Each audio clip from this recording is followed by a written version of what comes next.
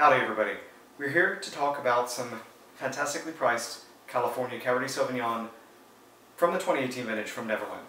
We've enjoyed what Neverland's been doing for about uh, three vintages going, and the 2018 is almost one of the best we've had yet. The thing we like about this is it combines both fruit as well as the honest truth about where it's at in terms of its price point. There's a little bit of oak, but not too much. It's not aggressive, nor does it taste like steely by any means.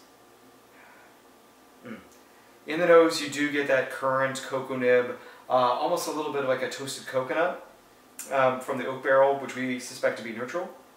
But also you're getting some nice kind of like a little bit of a pepper spice edge, which is what we're looking for in a Cabernet as often as not.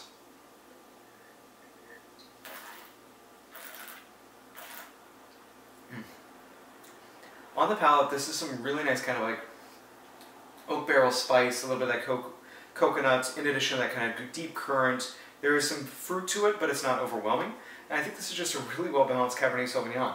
So, if you have uh, $20 in the pocket, plus the tax, and you want to try a great little Cabernet, cheers, stay safe, and be well.